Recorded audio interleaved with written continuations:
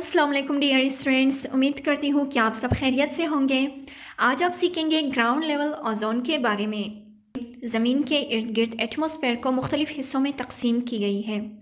10 से 15 किलोमीटर के फासले पर जो एटमॉस्फेयर है, उसका नाम है ट्रोपोस्फेयर यहाँ ग्राउंड लेवल ओजोन मौजूद है। इससे ऊपर जो है पंद्रह किलोमीटर से तकरीबन पचास किलोमीटर तक एक और एटमॉस्फेयर मौजूद है जिसका नाम है स्ट्रेटोस्फेयर फिर उससे ऊपर के फासले पर मिज़ोस्फेयर थर्मोस्फेयर और एक्जोस्फेयर मौजूद है।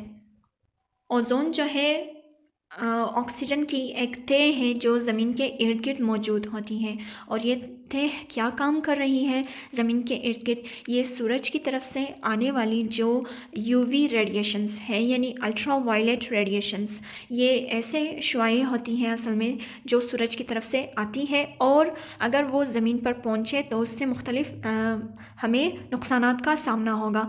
तो ओजोन क्या करती है? सूरज की तरफ़ से जो यू वी रेडिएशंस होती है, उनको ज़मीन तक पहुँचने नहीं देती, यानी उनको स्टॉप करती है। इसके बाद हम बात करेंगे टाइप्स ऑफ़ ओजोन ओजोन जो है, दो तरह के होते हैं। एक वो ओजोन है जो कि ज़मीन से बिल्कुल करीब फासले पर मौजूद है। और ये ओजोन जो है हमारे बे एहतियाती की वजह से और जो फैक्ट्रीज़ है व्हीकल्स है, वग़ैरह वग़ैरह, जो भी चीज़ें पोल्यूशन पैदा करते हैं पोल्यूशन की वजह बनते हैं, उन चीज़ों से ये ओजोन बन जाती हैं। यानी 10 से 15 किलोमीटर के फासले पर हमारे ट्रोपोस्फेयर के अंदर जो ओजोन बन जाती है, वो जो है ग्राउंड लेवल ओजोन होती है और ये नुकसानदा होती है।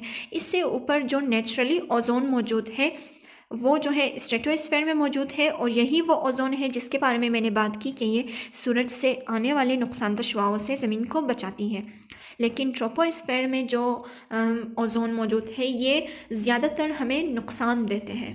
अब ग्राउंड लेवल ओजोन को हम दूसरे अल्फाज में ट्रोपोस्फेरिक ओजोन भी कह सकते हैं, क्योंकि ये हमारे ट्रोपोस्फेयर में मौजूद था, इसलिए जो ग्राउंड लेवल ओजोन है, ये बहुत ख़तरनाक होता है। सब जानदारों के लिए क्लोरोफ्लोरोकार्बन्स और जो फैक्ट्रीज नाइट्रोजन प्रोड्यूस करते हैं, उनके ज़राए हैं। इंसानी सेहत पे इनके बहुत सारे बुरे असरात हैं, जिनमें सबसे टॉप पे आ सकते हैं इरिटेशन इन आइस यानी आँखों में जलन होती है खांसी हो जाती है, गले में ख़राबियाँ पैदा हो सकती हैं और लंग्स की बीमारियाँ हो सकती हैं। जिस भी माहौल के अंदर ये ग्राउंड लेवल ओजोन ज़्यादा होगी।